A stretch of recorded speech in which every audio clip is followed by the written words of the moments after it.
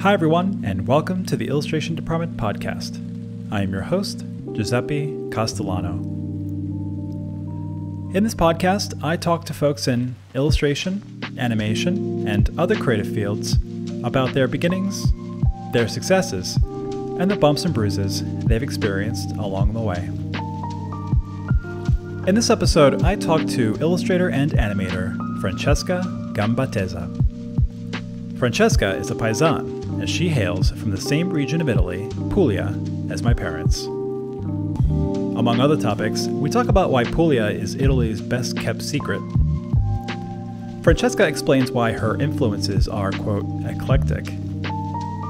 She shares tips on how to find an illustration agent. And she tells us what she thinks about when she thinks about character design.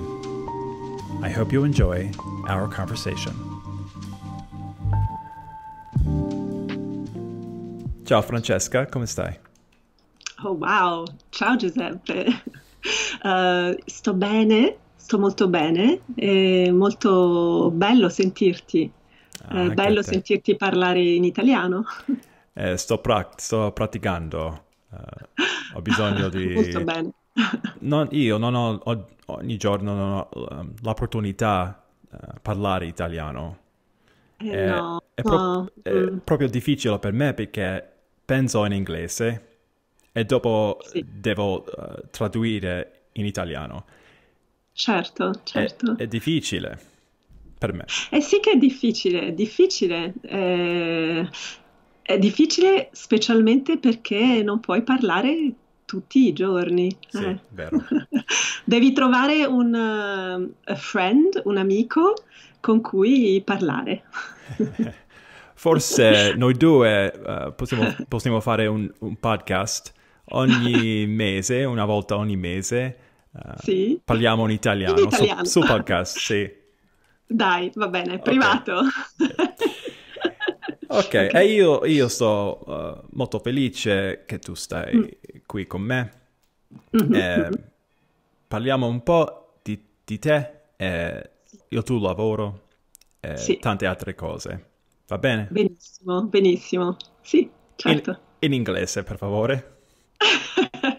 Oh, ok. Ok. That's fine. Hi, Francesca. Hi, Giuseppe. Well done. Thank you. I try. I try. well Poor- done. It's good not to lose your connection with your Yeah. roots.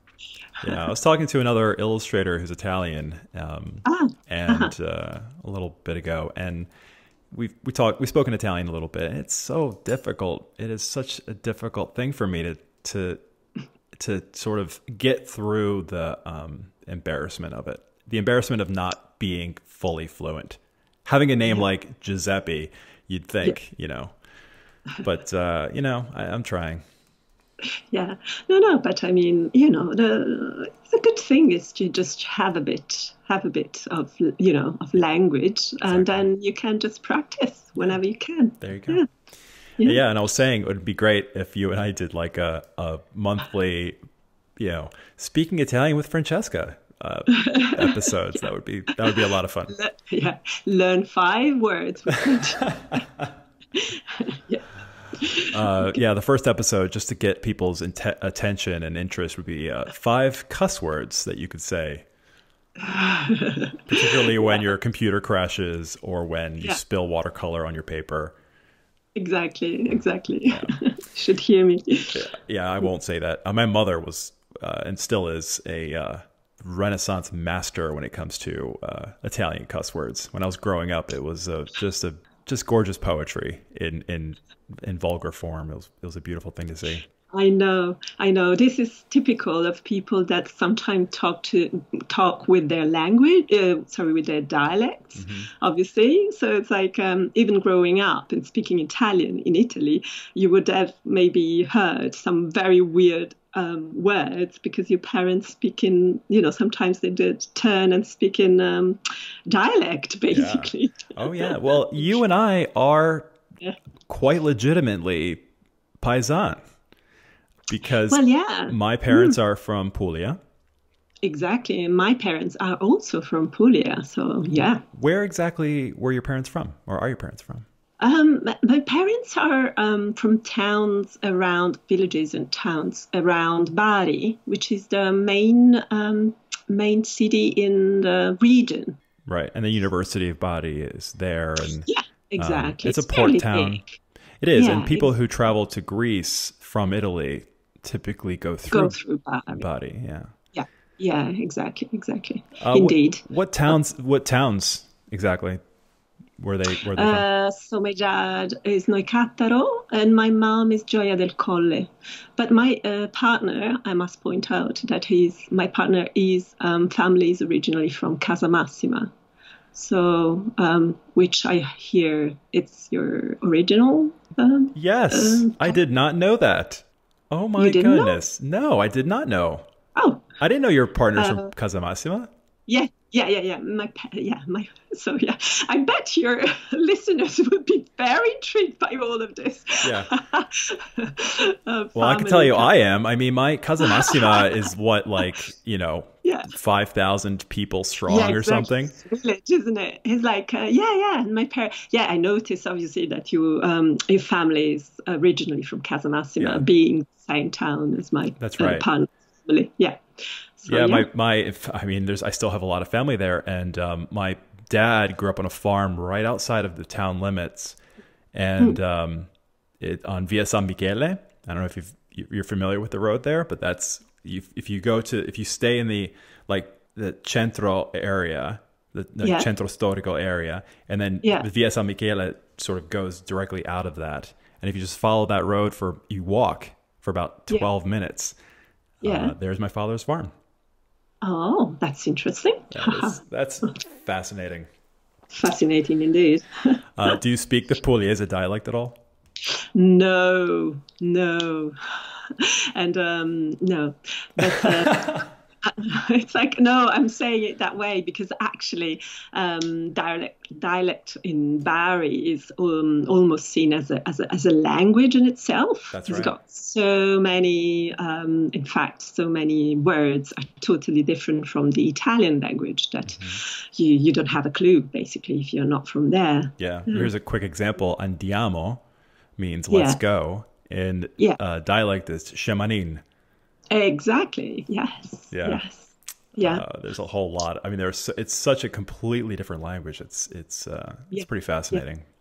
It is, but also you know, it's like it's got so much influence from the um, centuries where foreigners were um, were there. So Right. like Spanish or French, Mhm. you know, all sorts. They Yeah, all left a mark into the language. And into the region as well. I mean, architecturally. Uh, Yeah. you'll see these like Alberobello has these truly um, Yeah. that it's sort of inexplicable how they how they got there. It's it's it's it's like very specific kind of conical hut and um, out of out of the stone that they you know dug up there. Yeah. And it's, these super fas- it's yeah, it's very odd. intriguing yeah yeah it is it is and in fact it's, it's more and more popular um, among tourists and foreigners because right. they're so attracted by this kind of um, very unusual um, architecture That's yeah. right. And Lecce is um, the second biggest town, I would say. Um, Yeah. A couple hours south of Bari, and and it's Yeah. the Baroque, or one of the Baroque Indeed. capitals of the world. Yeah, indeed. And it's so interesting how different it is from Bari, for instance. I mean, there's same region, but it's totally different architecture, feel. Uh, the stone has got a different color. So it's quite interesting Yeah. and varied. Yeah. I read recently, and by recently I mean over the past maybe six months, uh, that Hmm. Puglia finally overtook Tuscany in terms of number of visitors, number of tourists.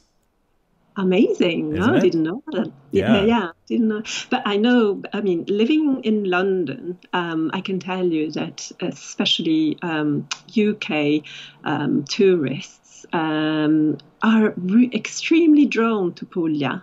And so I know so many uh, British friends who Mhm. travel there for holidays, and a lot of people actually have got properties there as well. So it's really interesting how they are very keen on that kind of landscape, and you know, it's nice. For sure. So you are in London. How did you? Yeah. So let's like get let's just like connect the dots and mm. And figure out how someone from Puglia uh, made their way to London and is now, uh, I would say, prolific children's book illustrator, animator. I mean, you do so many different sort of different kinds of things, and so I want to get to that point. I want to get to like how you got there. So, did you? When did you realize like art art actually might be uh, a viable choice for you?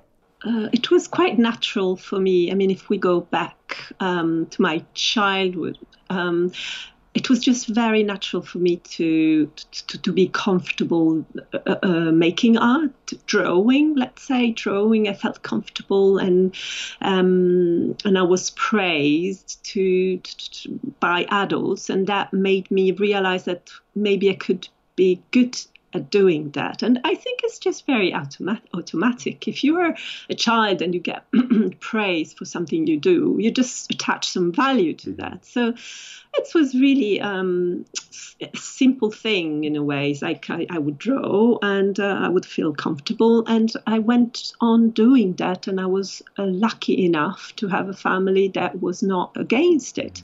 I went on to study art high school. Um, I was I, I, grew up in Rome because my dad was working there, so um, I was in a big city studying art in a high, in high school, and then. I just it was very natural for me. It wasn't like I didn't. It was lucky in a sense that I didn't have to push against something, you know. Um, uh, so and then I went on to study um, art at college and eventually animation, in fact. Um, at a film school in Rome.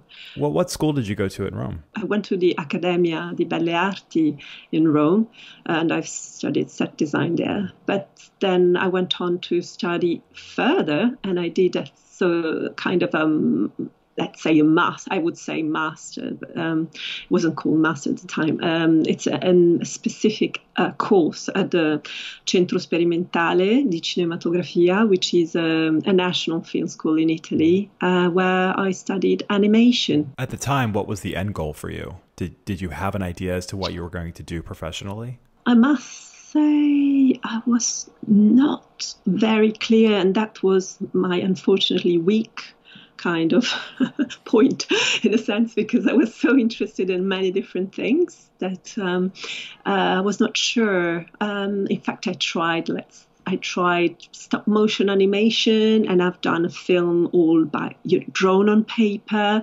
So I've done different kinds of experiments and films. Mm-hmm. And when I got out of that course, um, I was still confused, unfortunately. uh, but um, but then I found a job into a stop motion um, studio, um, which is very unusual for Italian um, in you know animation industry, which is uh, virtually non-existent in a way. Uh, but yeah, there was this uh, stop motion um, studio where I worked for a couple of days with other mates, mm-hmm. let's say, from the film school. And um, it was a really, really good period because we were like out of college, finally, you know, being independent, renting our own house, mm-hmm. and and just working in an animation studio, basically. Was that was that mm. still in Rome? No, that was in Umbria.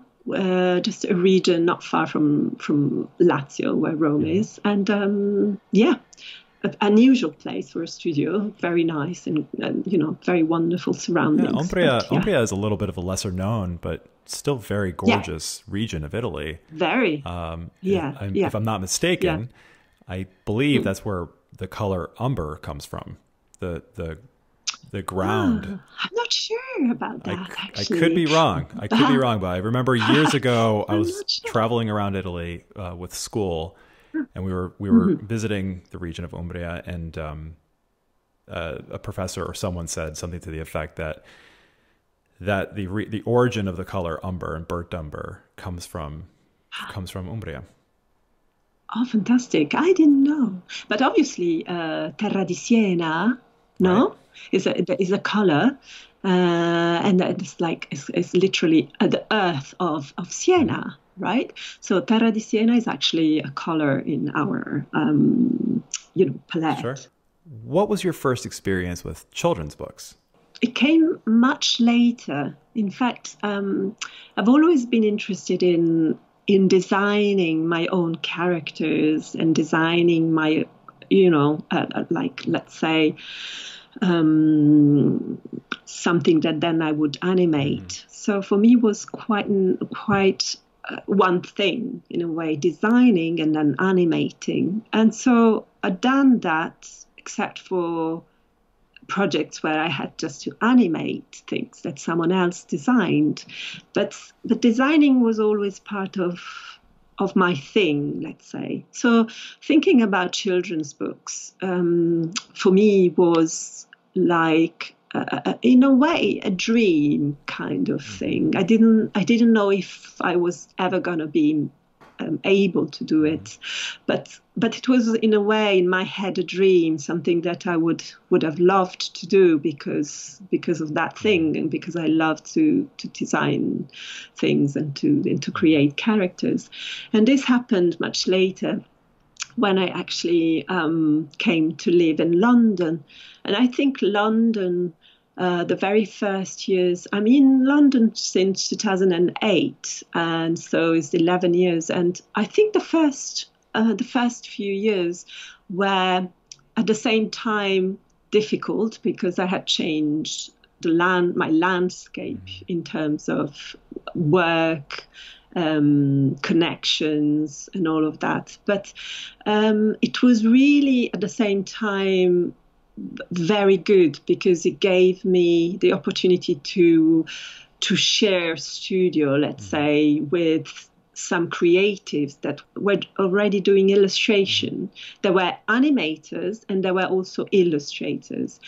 Um, so I worked with someone on an animation project, and at the same time, I was sharing a studio with other creatives, and I saw them working on their illustrations, and that was very inspiring for me. And I think I think for anyone that is creative and needs a bit of a push because let's say I'm not the most kind of um, uh, how do you say self um, assertive creative that you can meet yeah but, me neither. um, I'm, in, I'm in your boat. I think it's so important to actually see someone else doing their own thing.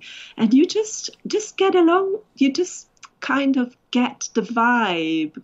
And and you just think oh well you know it's not that in, thing where you don't see people doing stuff where you don't even know how they do it. Actually really is helpful. Mm-hmm. and um, i realized then um, that it was feasible, doable, and we would share advice a bit. And um, and um, I just I just got together a small portfolio, a few bits and pieces of things that I designed and characters, and I looked for an agent, and that was the, the very important part of of you know me then pushing. And um, uh, for instance, I went to a children's book fair, which is something that I would definitely recommend to someone beginning with their career as an illustrator. So, a children's book fair where where you can meet some people from the industry that can look at your portfolio and can give you advice.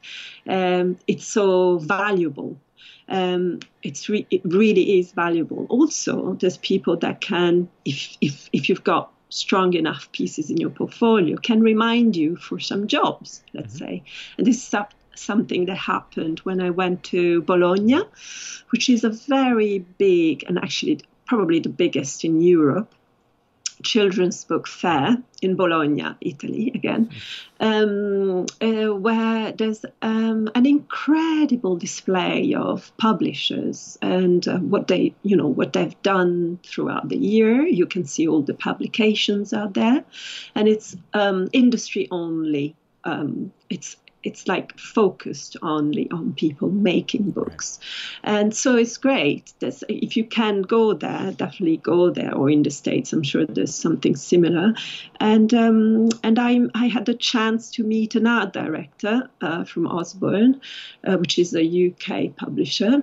Uh, and um, she liked some of the pieces in my portfolio, and I got to do my first um, my first serious book, let's say, with them, published in the UK. Mm-hmm. It's just a sticker book, but it's like you know, it's um, it's been out there for years. It's been you know now there's like quite a few. Um, uh, how do you say co-editions um, in different languages. So very interesting. Sure, and yeah. it's you know just a sticker book. It's it's it isn't just. Uh, yeah. It's a sticker book. I mean, it is a book, and I think yeah. that yeah. that's a yeah. point I want to make about that is, uh, mm.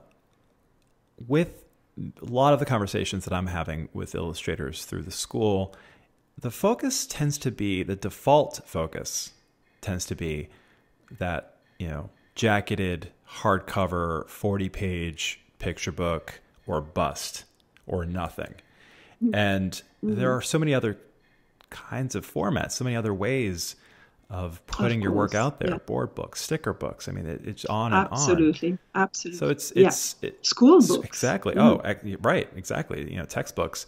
Um, so it's yeah. you know it's it's always it's a good idea, obviously, to be as creative with how you see your work out in the world as it is um, with what it is that you're creating, you know, or what it is that you're making.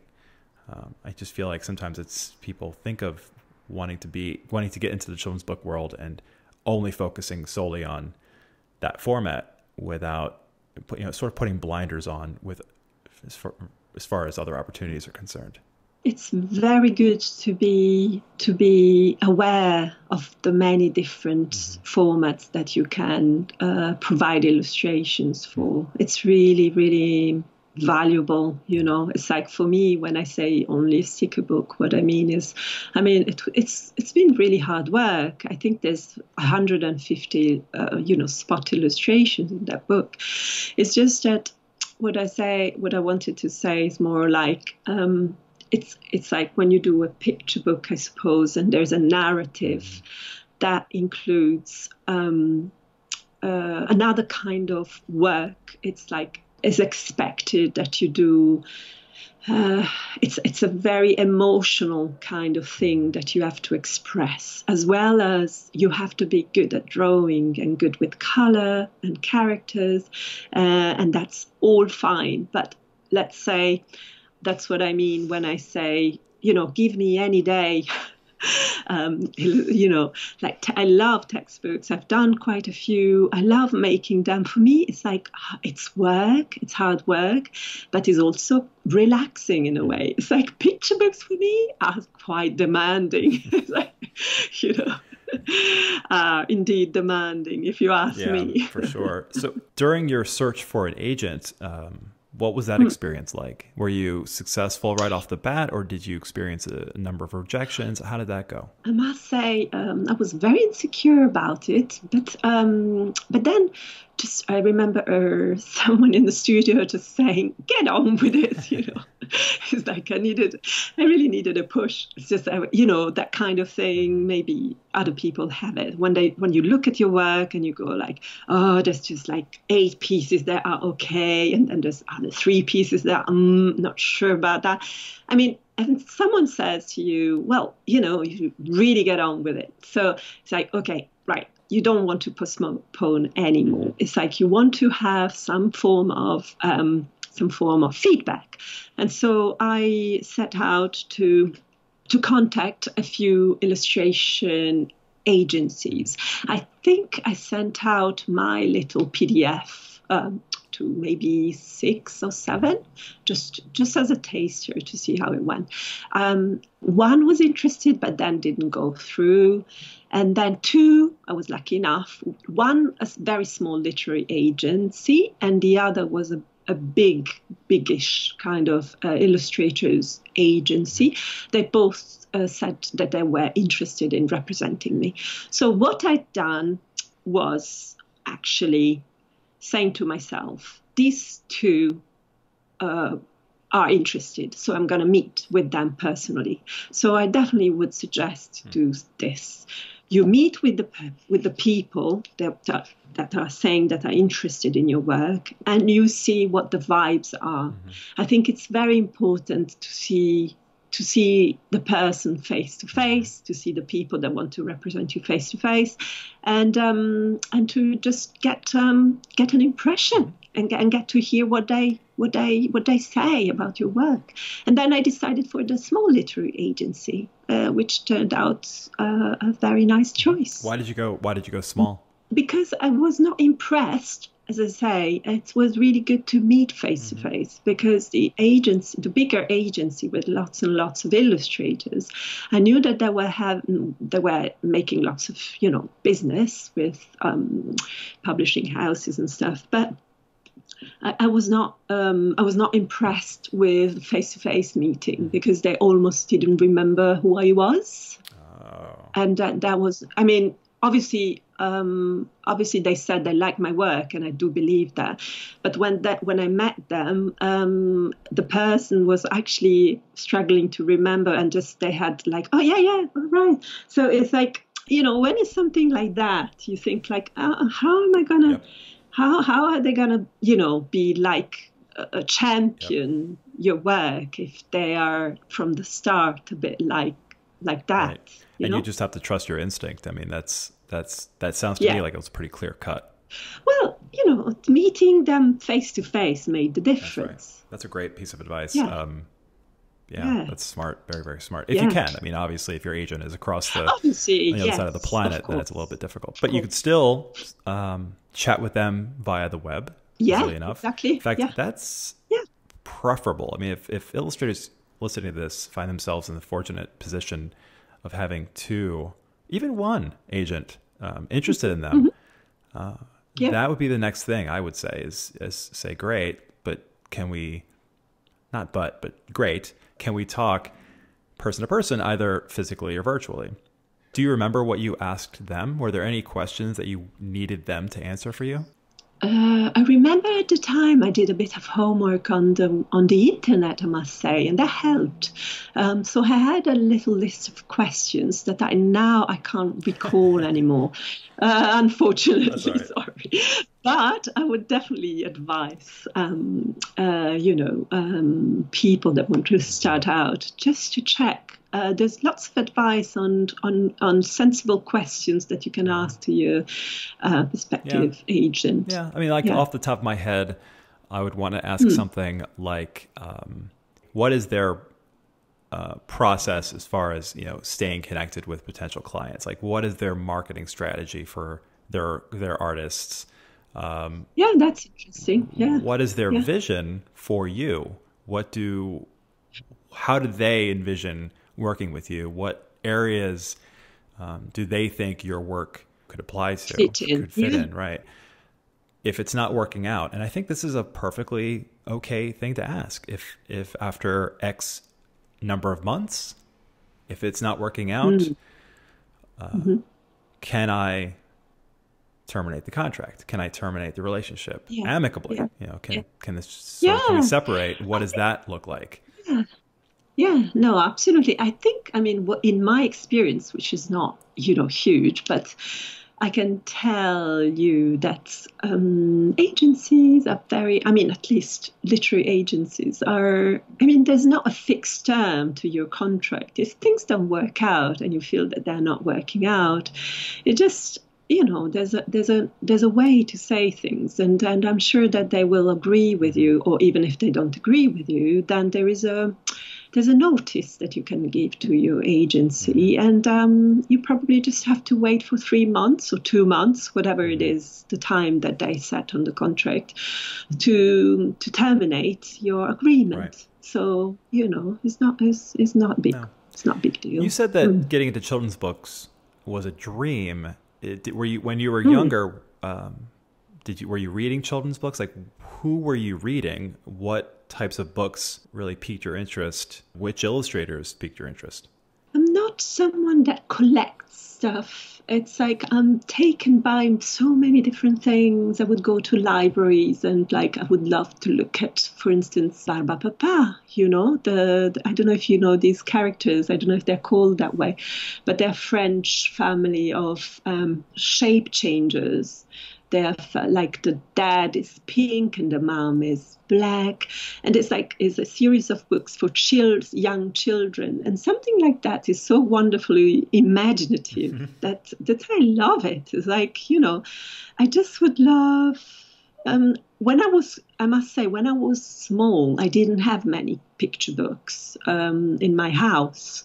Uh, but but then, yeah, growing up, I, I, oh, growing up, I was hooked to Japanese um, uh, Japanese uh, animation, mm-hmm. and and that is also another influence. It's funny. It's like I can say I've got an eclectic a catalog of, of, of reference in my mind and my and my soul. Let's say so and then obviously there's lots of loves uh, from when I was, you know, more grown up.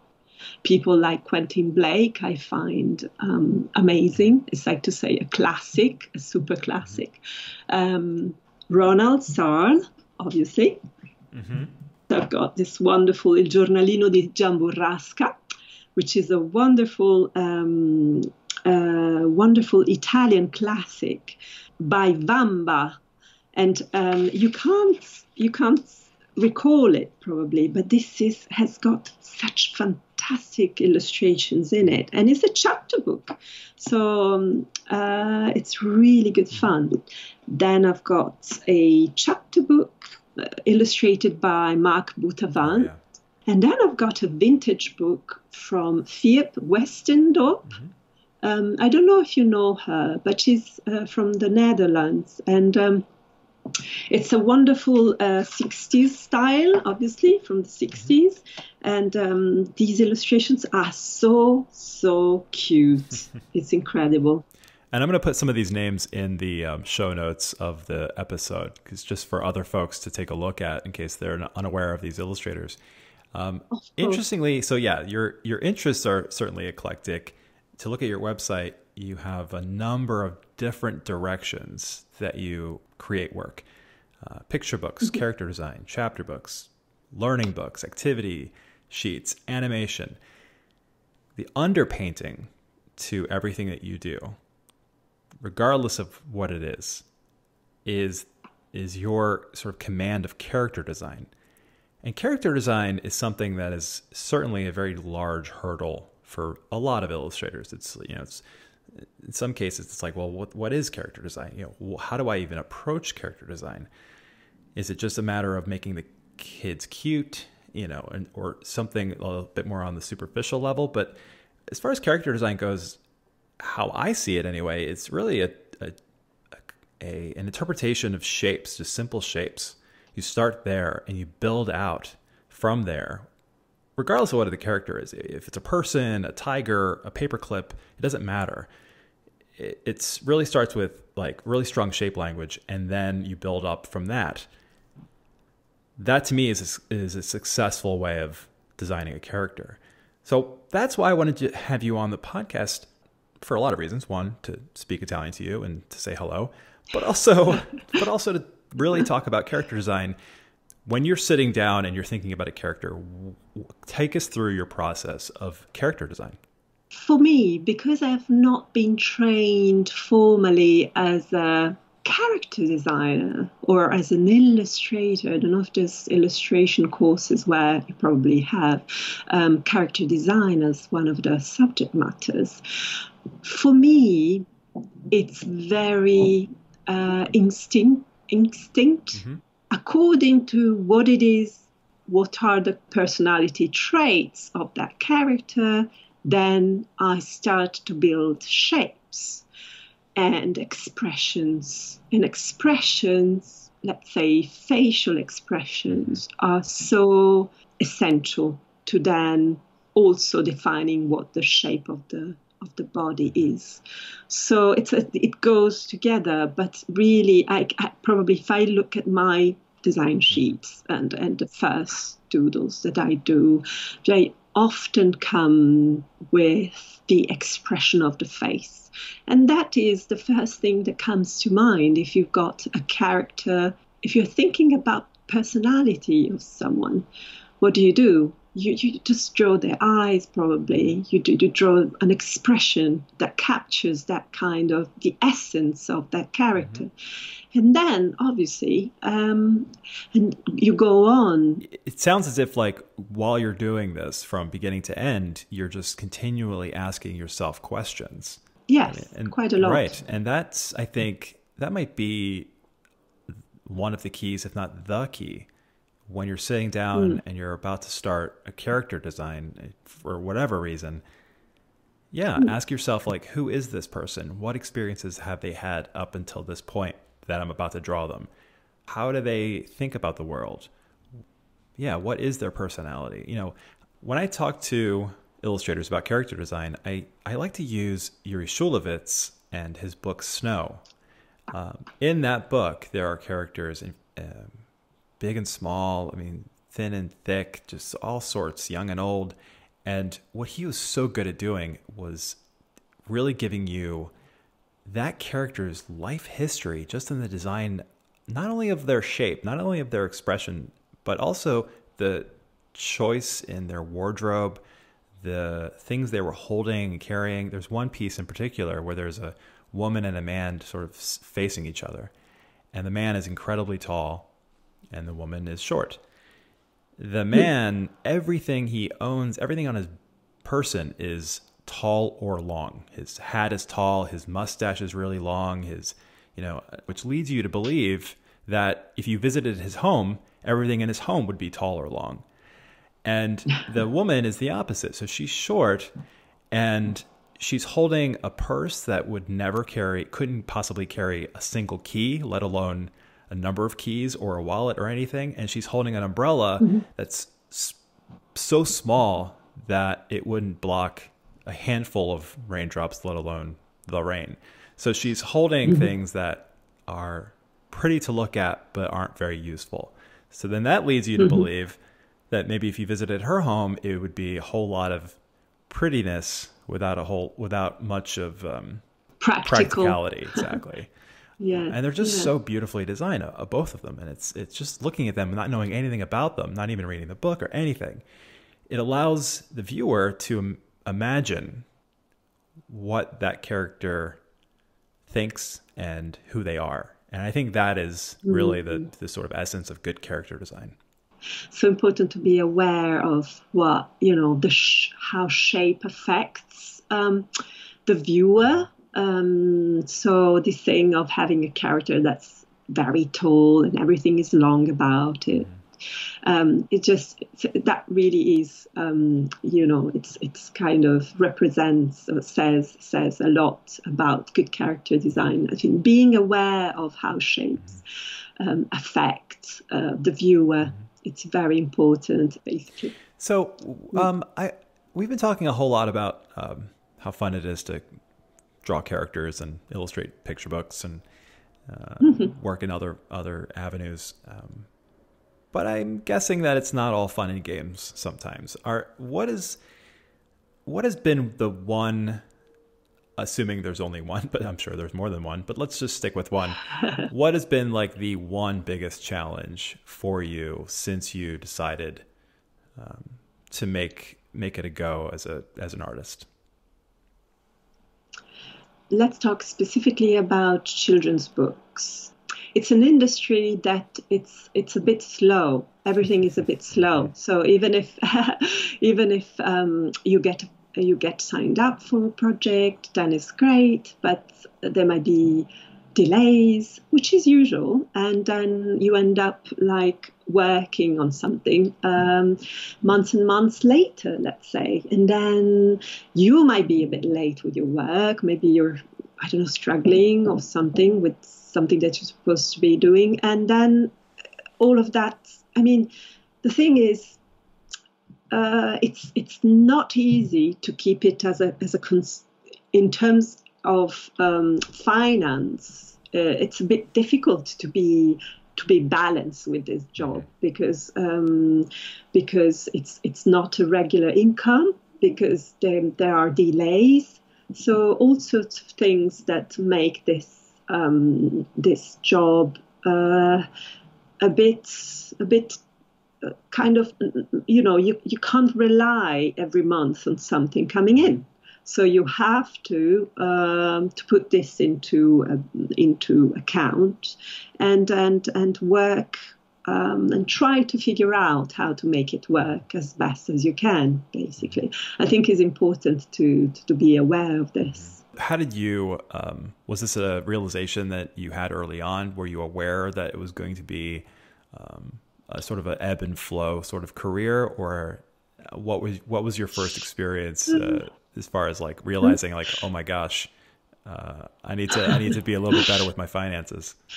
I think it's like it, no, it's like I think some people um, have got have got a, have got a good understanding. They are better with finances. Um, I'm personally a bit rubbish. Uh, I'm what you would say a real like um, uh, head in the clouds type of person in a sense like i'm thinking all about what i'm doing deep into like work but then i'm not good on the you know business mm-hmm. side of things so um, that's why i think it's important to to be aware that you need to probably push for different kinds of things um, so you might end up having different projects on the go that's important mm-hmm. instead for me it's like for a period of like for a few years I've had I've had lots of work on and I um, without having to ask for it in a sense. It just came to me, which was great. And then when I realized that work was drying out, um, I was not very good at being proactive to find work. So I think that is, I don't know if other illustrators find the same difficulties. But um, it's always good to just prevent moments where you'll have less work, yeah. let's say. Yeah. And I think also mm. just sticking with the children's book thing, um, that's why I think it's really important when you do get an offer and you do receive a mm-hmm. contract mm-hmm. that part of yeah. the payment structure is um, a signing payment of some sort, you know, payment right off the bat because uh, mm-hmm. chances are you need the money. And also, yeah. it's a little bit of like it keeps the publisher honest a bit, um, as opposed to having it. Because I've seen contracts over the years where um, there was no signing bonus, there was no signing fee at all. It was oh, sign no. the contract and then do the sketches. and if we approve the sketches, then you get your first half. And if we approve the art, then you get your second right. half. Um, so you sort of started off your career with a focus on animation lately, yeah. Um, you've been doing quite a bit with animation, specifically with the film Billy by uh, oh, yeah. Maki Yoshikura. Uh, yes, well done. Thanks for noticing. Well, I've, I've been noticed. I follow you on Twitter, so I've, I've seen that. Um, oh, so oh, yeah, Billy is a is an animation that you've designed and art directed, and it was written and directed by uh, Yoshikura. Um, yes it's been selected in film festivals. I'm going to link to, to it in the show notes because I think um, folks should mm-hmm. see the trailer. It's beautiful. Mm-hmm. And so, how did that come Thank about? You. How did you get that opportunity? Well, um, it's it's important, and I think this is a is a I think this is important for whoever starts um, their creative journey. Let's say to to just hang out with other creatives basically.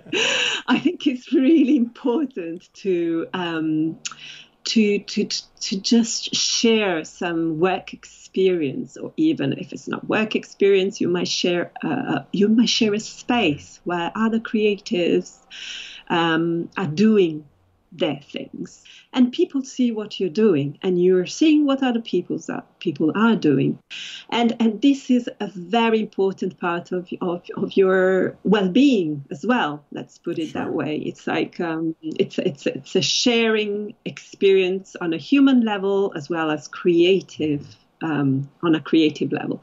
So, uh, for instance, I worked with Maki on my on one of my first animation jobs in London uh, in a studio called Voodoo Dog.